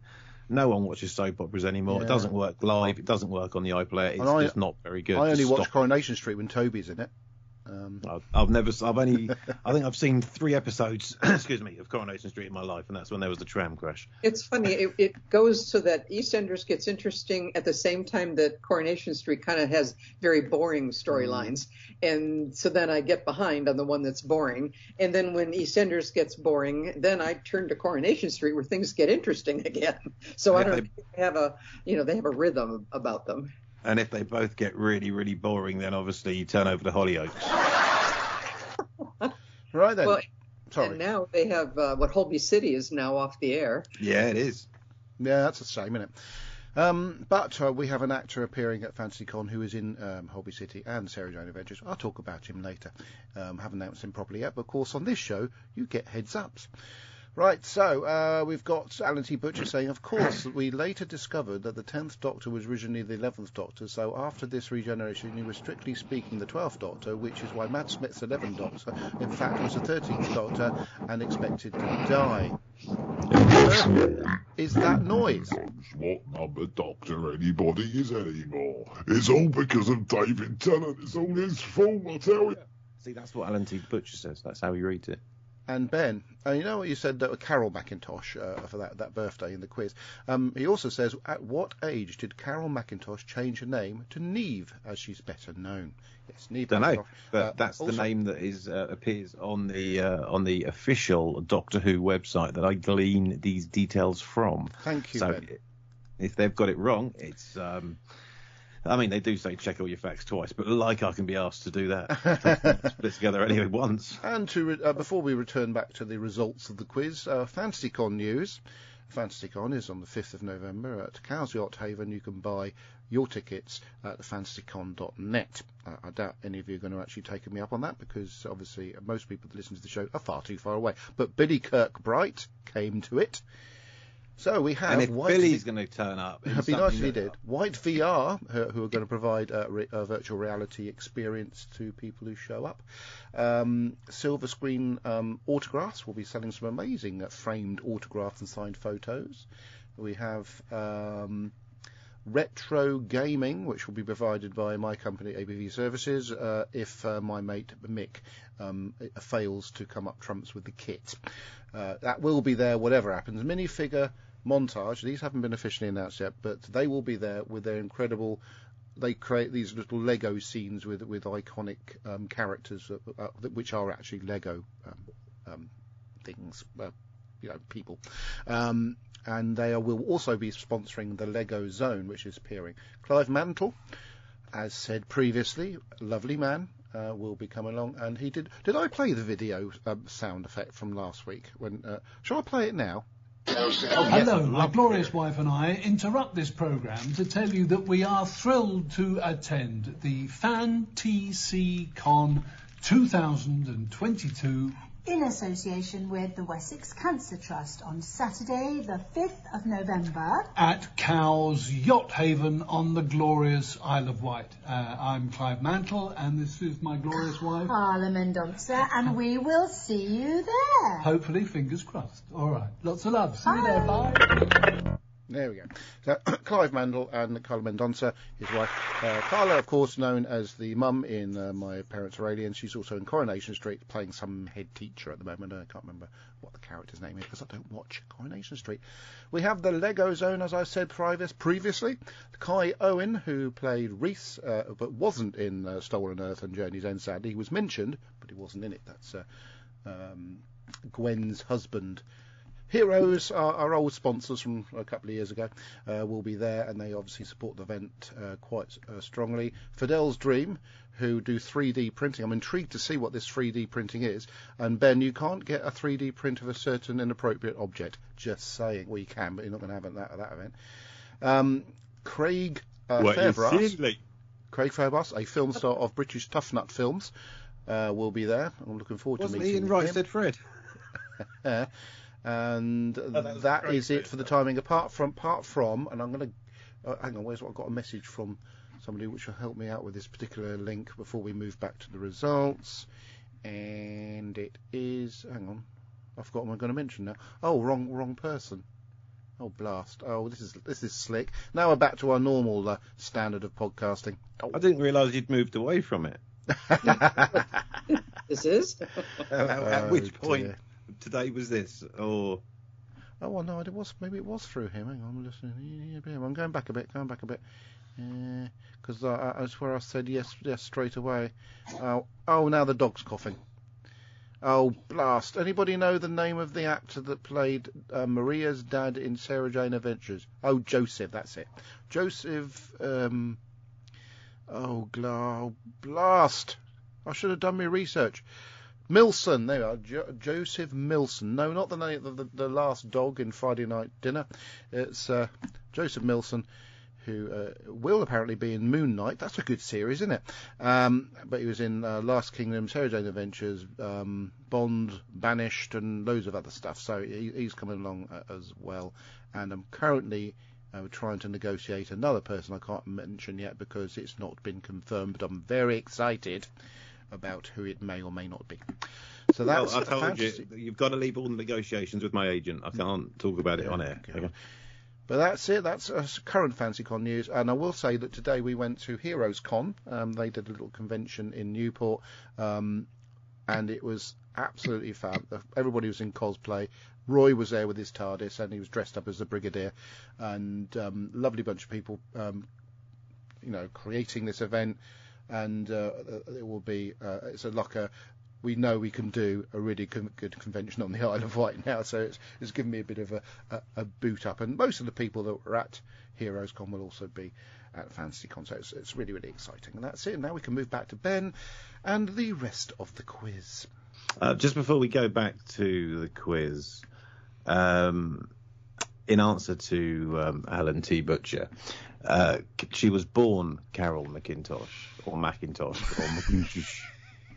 Uh, and now she uses the name Neve as her acting name. So that's when she changed her name. Ha. And welcome back to this. oh, dear. oh dear. Uh, composed.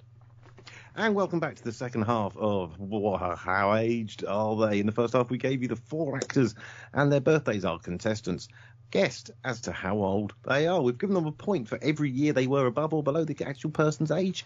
And let's have a look to see how they scored. The first person was Carol slash Neve McIntosh McIntosh. Uh, Adam guessed at 36. Mary guessed at 44. Carol slash Neve McIntosh, McIntosh was born in 1972, making her 50 years old. 50 years old. Clap the age. Clap the age. Uh, which means that Adam scored 14 points and Mary scored six. Round two was Alicia Bailey. Alicia played Isabella. Alicia and Isabella, Adam. Yeah. In the tw- uh, in the 2010 story, that was the Vampires of Venice. Uh, Alicia Bailey was born on the 13th of April, but how aged are they? Adam claimed she was 29. Mary said 52. Alicia Bailey's actually 34, so Adam got five points and Mary got 18. Round three Hey, was back in the game. Ricco, Ricco who played the Ringmaster in the greatest show in the galaxy, born on the 16th of April. But how aged are they? Adam said 67, Mary said 72. Ricco Ross is actually 61. So Adam got six points and Mary got 11. Finally, round four was Stephen Churchett, who played Bill in The Attack of the Cybermen alongside friend of the show to everyone else but me, Colin Baker. He was born on the 10th of April and he unfortunately died earlier on this year. Sincere condolences to his family and everyone affected. That's so ins- insincere when you said sincere. That's hilarious. Uh, he was born on the 10th of April. Unfortunately, died early this year. But how old would he have been on his birthday, which would have been today? So we celebrate his life. Uh, Adam said he was 89, and Mary said he was 82. Uh-uh, both way over. He would only have been 75, which means Adam got 14 points. Mary got 7 points. Adding up those final scores, this is where we need another ooh. That's an Ooh. ooh times Pardon that. three. That was a burp, Adam. I've got plenty of Burps. I tried to say ooh, but a burp came out. Oh, okay. Sorry about Um, so let's pretend this is an ooh. the scores after the fir- last four rounds are as follows, and it's so close this week. You couldn't fit a cigarette paper between the two of them unless it was a quite a big cigarette paper.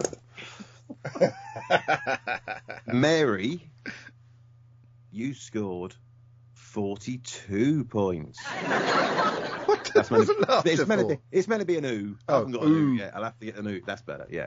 Mary's you scored 42 points. Adam, you Oh, yes. scored 39 points. Do I win? Adam, You're the winner. Okay, so um, we'll add those scores onto the previous scores, which I have got, but I can't be bothered to do now because I was listening to something Adam was saying, and then we got all talking about dot cotton. So uh, you know, uh, so at the moment now everyone's got a win apart from Kirby, which isn't much of a surprise. And we'll do it again next time we do a podcast. Up until then, thank you very much for listening. This has been the wonderful. How aged are they?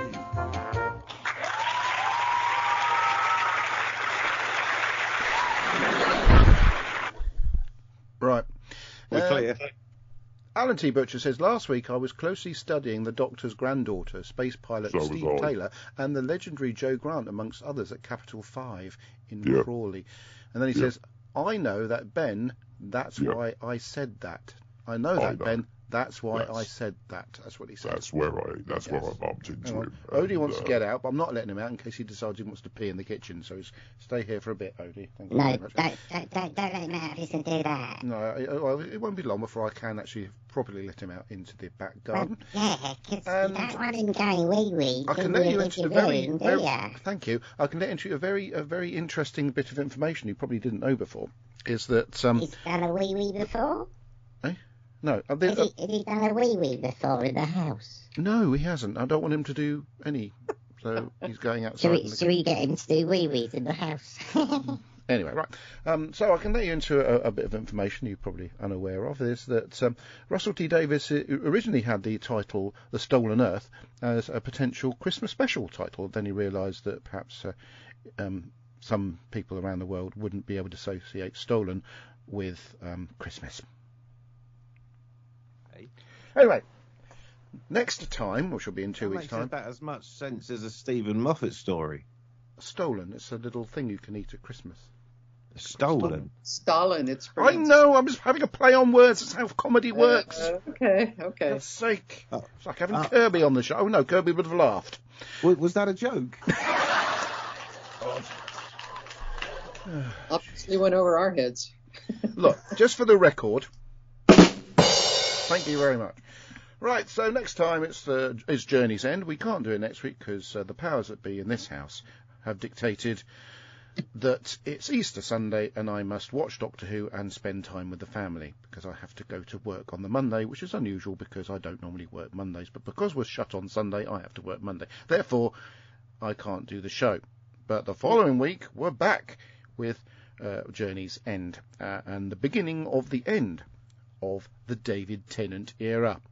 So until Oh, then, sure- well, no, I mean, What? surely, surely the one last week was the beginning of the end. I mean, maybe this week's could have been the beginning of the beginning of the end, but next week's has got to be the end of the beginning of the end.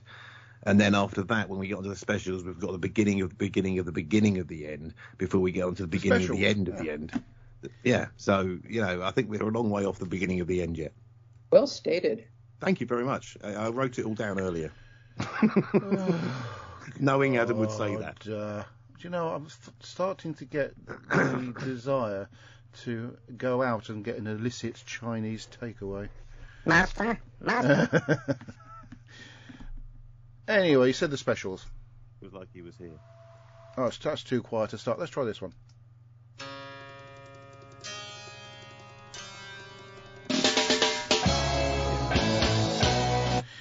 So, anyway, until next time, thank you for listening, watching. Oh, taking- hold on. What?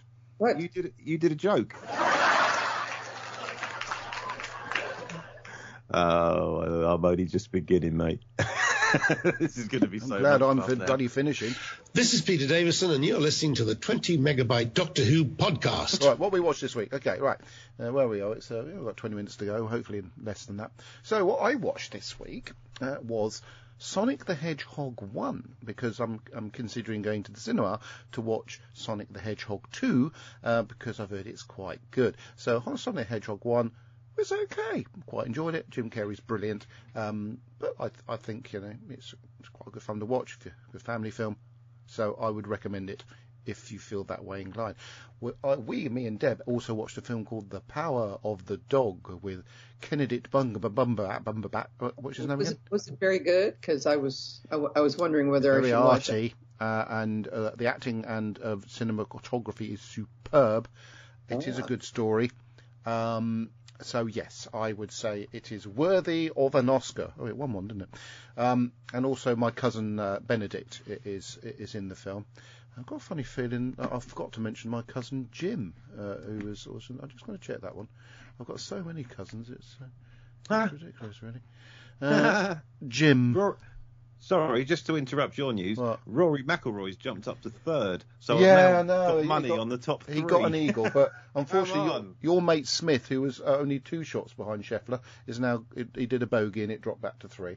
I could do Um, with Rory McIlroy winning. He's That- got that he's just lovely. another bogey. He's now dropped back to minus He's six. So six, he's isn't he? falling Yeah. away. Yeah, sorry, sorry, Adam. I just Yes, need no, to um, uh, Jim. Carrey is not my cousin, as I know. So, but anyway, where did I get up to? Sorry, Mary, I was talking about films, wasn't I? Oh, yeah, so yeah, I highly recommend Power of the Dog, which is a, a Netflix movie. You should be able to watch it on there. Um, I tell you what, some amazing performances, and it, it is, uh, and it's a good story. You know, it, it's not predictable. It's a really good story. Uh, Moon Knight, which is a new series on uh, Disney Plus via those geniuses at Marvel, absolutely superb series. Uh, two episodes have been out so far, uh, and we're hooked already. Really, really done good. It's a mixture of violence, comedy, uh, fairly good British accent by an American actor.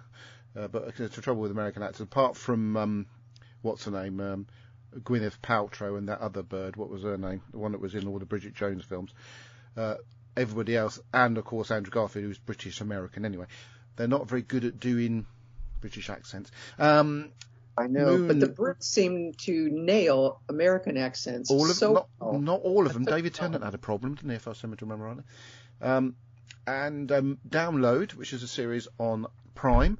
Um, we've watched series one couple of years ago, and they have brought out series two. It's only, they're only half-hour episodes, and it's a really good Download sort of. or is it upload? Oh, it's upload. Why did I write download? Well I done, don't- Mary. Point for you. Um, yeah, sorry. Yeah, oh, sorry, because um, that's what's probably going to happen in the next series. Yeah, upload. Sorry, re- re- rewind, rewind, upload. Prime, great series. Um, concept, everything. It's such a good series. And if you haven't watched series one, watch it because now you've got a bumper amount of episodes to watch. Uh, so that's it for this week. Uh, oh, and the golf. Uh, I've been watching the golf as well, which has been absolutely amazing. Uh, and some uh, football matches uh, uh, as well. But that's really not what we're supposed to be talking about at this particular stage.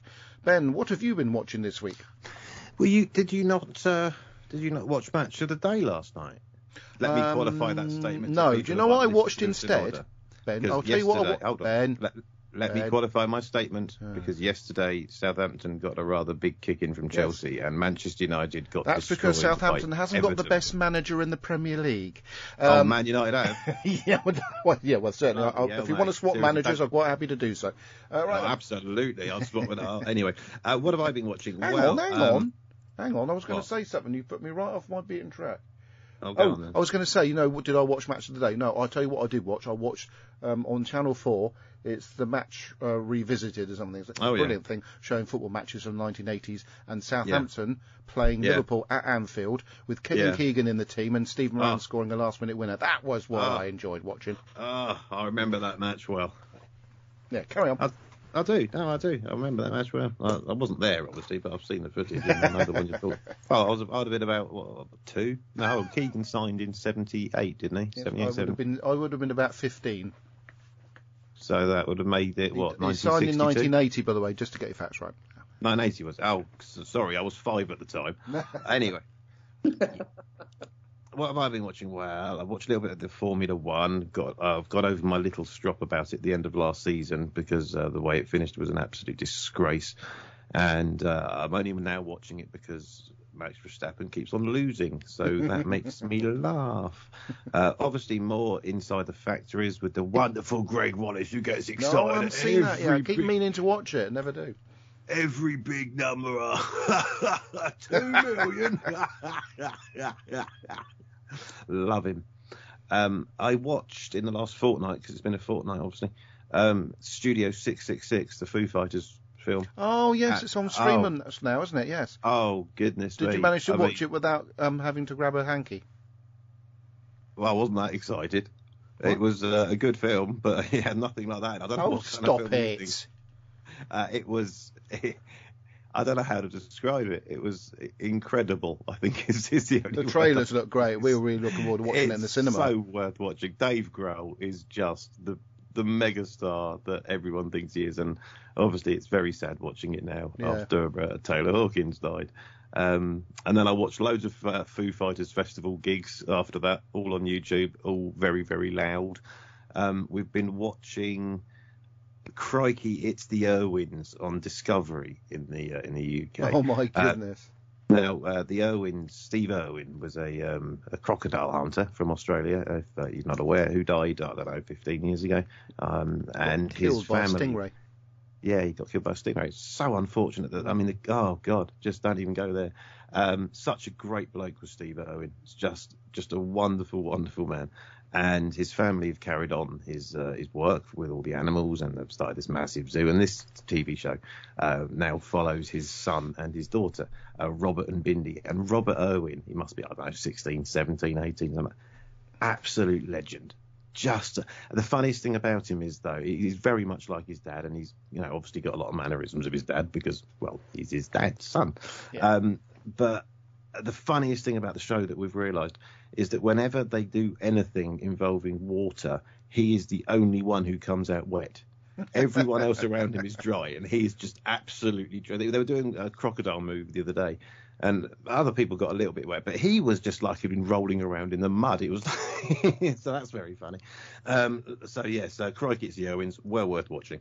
Um, golf, um, the Masters in Augusta, just love that. Just fantastic Yeah, course. absolutely agree. Uh, just the best thing in the whole of sport so far this year to see Tiger Woods play Absolutely. again after what happened. Yeah. He's an absolute hero, total legend, best person who's ever picked up a golf bat, and um, yeah, to see him back uh, 13 months after a, a crash that was very bad Mm. is just wonderful. I think he's finished bottom of the leaderboard because I mean I'm not being funny. I think he got a first- birdie on his last last hole. Oh, that would be good. I I've been doing a podcast, so I haven't been really be able to watch it. Um, but um, to see him back is just absolutely phenomenal. A phenomenon. Do, do, do, do, do.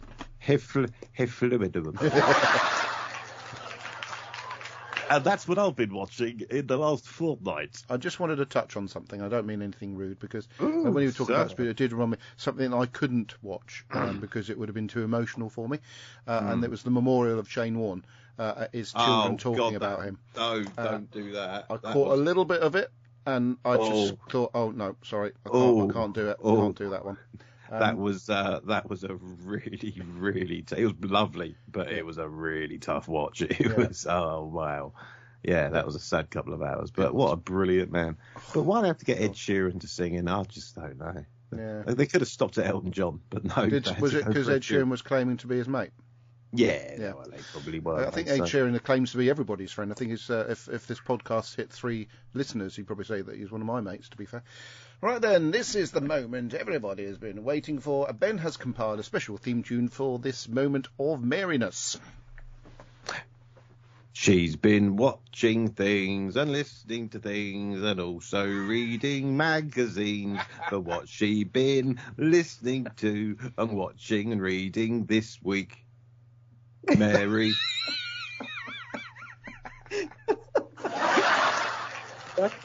Is that a recording, or did did, did you do that off the cuff? Oh, that was recorded. Did, you- did that sound recorded? Did that It sound- did. I did, but I thought there would be a What? musical backdrop What? to it. What? So you're telling me that the brilliance of my uh, of the heart opening sequence that I made earlier with all the brilliant this one. And now, that with all the brilliant rhyming song in it. You're telling me that sounded like the muck I just made up off the top of my head because I couldn't actually think of anything to rhyme with Well, Blitz. what I suggest you do, if that is off the off the top of your head, write it down and put some music. So No, you may rubbish. well have found Mary's I- um, jingle. No, I, I've actually made, I actually wrote something in my head for Mary the other day, and I just didn't write yeah, it down. want, yeah, but we want something that's nice and clean. It's, a Uh, oh, yeah, dignified lady. It's, it's, it's Mary. It's oh. respectable. Uh, excuse me. Uh, if, if, what, what you should notice, by the way, is that in all of the introductions for how aged are they, everyone else gets an absolute bashing apart from Mary, who I've got ultimate respect for due to her being a lady. you, you only do that because Mary would come around with the knuckle dusters and give you a, a damn good thrashing. Absolutely. I mean, the other reason was just completely made up. It was the knuckle dust that I didn't want to mention. Whoa. Anyway, Mary, I think it's now it's now time to hear what uh, what's been keeping you entertained media-wise in the last fortnight. Well, um, actually, uh, not a lot. Um, Big build. That build-up. very busy. I mean, uh, the, the introduction is going to go longer than my uh, than my review here. Uh, mostly, I've been watching old stuff, um, stuff that I, I used to love or that I uh, have never watched and want to get into. I've been rewatching um, The Sopranos, which is something I watched back when they when it was coming out, but I never finished it. So now I'm rewatching it from the beginning again. Love The Sopranos. Um, and I uh, started watching Game of Thrones, which is Oh, one of you, those. that is such a coincidence. I actually downloaded episode one to watch. I haven't watched it yet, but isn't that weird? We're both thinking about watching that. Wow. Well, because I started reading the books a long time ago before they even started the TV show. And the books kind of put me off because they were just so gratuitously violent and all that. And I understand from what people have told me that the first season is also pretty violent, but I should, you know, soldier through it because they get better and better as they go along. So that's what I'm into now is starting to watch Game of Thrones. And another old thing that I uh, picked up on, because it's new to BritBox, but I can tell that it's very old, is a comedy um, about the committee that put together the um, the 2012 um, London Olympics. All right, yeah, I've heard about this. Called 2012, isn't it? I've already seen it, you know, with Hugh Bonneville and Yes. uh, and uh, Olivia Colman, and and I mean, there's just so many um, iconic It's wonderful. actors in it, you know, that it's just fun to watch them all, and it is a good comedy. But one thing that took that struck me when it was over, because when, whenever the narrator come in came in and would talk, I thought, "Gosh, I know that voice," but I, I don't know who that is. At the very end, the narrator is David Tennant. Oh. I got a kick out of that because Yeah. we're watching, you know, the uh, the the Tenth Doctor series. But was it his tenth Doctor or eleventh Doctor voice? You see, you could have got confused. Oh dear. yeah, I think I think it was more the eleventh Doctor. Yeah, yeah. Yeah, but yeah, it was kind of fun to you know, and I love that. I love it like when I see actors and it's like I know that person. I, I and then but you don't can't find out till the credits, you know, who they really were. Um, or you look it up on your phone, the cast of you know whatever it is you're looking at. Um, and the one thing that's Big Finish related is that I've just downloaded and I'm going to start listening to is is a new thing that they've put out called the Annihilators, um, and it's a Third Doctor story, and just about everybody in it is a like a, a an actor who's putting on the voices because most of the actors from the Third Doctor era are either not cooperating to do it or not with us anymore. Or unable to cooperate to do it. able to join us, yeah. So so that's what I'm going to be listening to, and I'll report on it the next time we meet. Why, thank God you, knows when uh, that'll be. Me? God Yeah, knows like- when that'll be. Like months time because Sure, yeah. It's only two weeks. yeah, like June. Not sort of exaggerating at all, are you? It's only two weeks, and it's not my fault. I didn't bloody uh, decide Easter was going to be next weekend. It's like like like the shops. They're only closed in this country on Easter Day and Christmas Day. It's Mm. like you're on the same regulations as the shops because you work in one. Well, Is that- is that the way it no, it's works? No, I'm reg- it's family regulations rather than that. Um, I will say though that uh, obviously we, Are we not can, head of we your can't do it next week, but we'll do it the week after. But we can't do it the week after that, but we can do it the week after that. Uh, it's just this. It's just summer. I, I just get busier in the summer. I'm afraid. Sorry. Right. So until next time, uh, I'm, I'm, I'm probably going to completely forget that I already said goodbye about uh, 20 minutes ago. Uh, thank you for listening, watching, taking part in the show. Goodbye. Bye bye. Goodbye, everybody. It's been a blast. Oh God! And Alan T. Butcher has just sent some last-minute feed. Uh, uh, uh, feedback through the feed, and it's, uh, he says Mary should look out for WC1, which has Hugh Bonneville as the same character running Yes. the BBC. I have seen that. I have seen that. Yeah. Yeah. It, it, and it is a pretty similar character. Yeah. Riding the same kind of fold-up bike. Yeah. Yes. Oh, They're can I both just something? funny. Sorry, can I just say something slightly? And I, I know politics is banned for often the show, but it made me sort of chuckle a little bit uh, because uh, apparently I'm, I'm I'm not an expert on it, but there seems to be a bit of an indication that Vladimir Putin lies a bit to the Russians. Um, whether it, is a lie or not, I can't speak. I've not been in the Ukraine. I haven't seen anything, but there's a rumor that he, he's fibbing a little bit to uh, the Russians about what's happening in the Ukraine. So, what happens this week? The UK's biggest liar, uh, Boris Johnson, um, goes over to the Ukraine and is, is given a tour of, of the scenery. Though for me, that's not particularly good PA. Maybe get Greta, what's her name, to, to, to do that rather than somebody who's a, a renowned liar uh, uh, as well. But obviously, he doesn't lie as much as Putin apparently, allegedly does. I thought that was quite ironic. But that's all I'm going to say on the issue. Goodbye.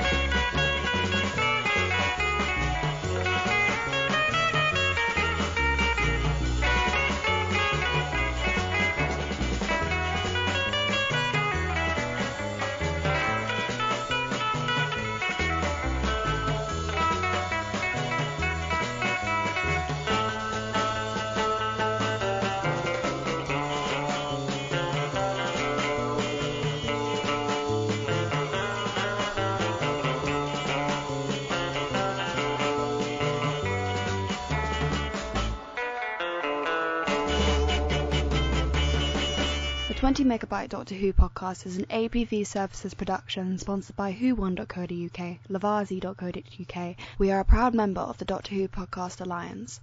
Doctor Who is a trademark of the BBC. No copyright infringement intended.